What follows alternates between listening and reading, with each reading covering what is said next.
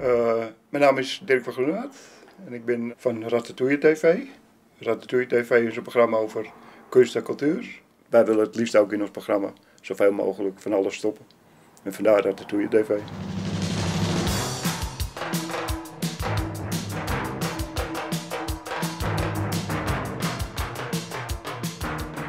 Cultuur interesseerde me wel heel erg, maar ik ging bijna nooit ergens naartoe. En nu kwam ik tenminste nog eens een keertje ergens, in een museum of bij een toneelstuk, bij een optreden. Het was niet nieuw voor mij, omdat ik zelf ook wel, uh, wel bezig was met, uh, met kunst. Vooral met het maken van uh, collages. Dat was een grote liefhebberij van mij. Mijn collages waren vooral veel met humor. Ik hield echt extreem veel van de humor in die collages.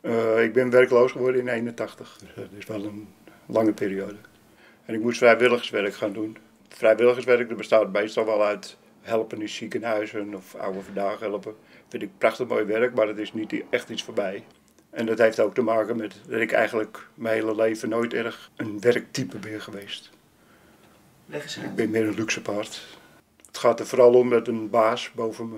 Dat ik daar heel erg veel problemen mee heb. Nee, vanaf mijn jeugd heeft dat er, uh, heeft dat er altijd in gezeten. Altijd wel een beetje een vrijbuitertje geweest.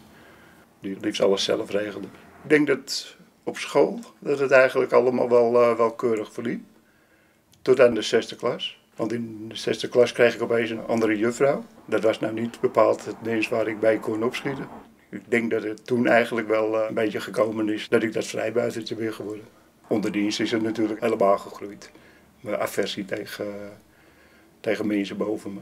Mijn laatste baas was wegtransport. Toen was ik vrachtwagenchauffeur. En ik had hem vakantie gevraagd. Toen had hij gezegd, ja, in die periode kan jij geen vakantie krijgen. Toen was mijn reactie van, nou, is helemaal geen probleem. Neem ik gewoon ontslag.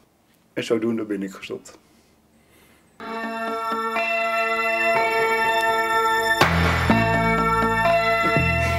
Mijn huis is een pakhuis. Ho hoezo? Verzamelaar, hè?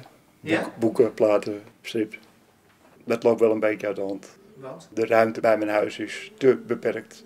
In het midden van mijn huiskamer er staan een stuk of twintig verhuisdozen vol met grammofoonplaten. Ik denk wel dat het bijna een verslaving is. Het rondlopen op rommelmarkten, op uh, platenbeurzen en dan dingen vinden. Dat is eigenlijk nog leuker dan het in de kast hebben staan. Dat is wel echt een verslaving dan.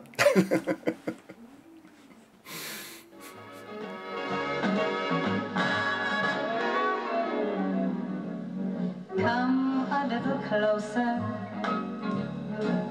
stay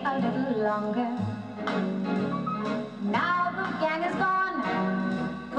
Ik denk dat ik nog steeds hetzelfde denk als ik toen de tijd dacht. En of dat eigenlijk te maken heeft met het feit dat ik hippie ben gebleven. Of dat ik gewoon een puber ben gebleven, dat weet ik niet precies. Ik denk dat ik, uh, dat ik alles toch echt nog steeds benader als een 18 tot 20-jarige. In plaats van de leeftijd die ik nu heb. Ik denk dat je met 18, 20 dat je nog veel enthousiaster de dingen benadert dan als je wat 60 bent. Omdat je dan wat rustiger, uh, rustiger bent, dat het allemaal wat kalmer wordt. En dat mag voor mij toch best wel een beetje, uh, een beetje met vaart gebracht worden. Uh, het zal altijd wel blijven dat, dat het 18 tot 20-jarige in me blijft zitten.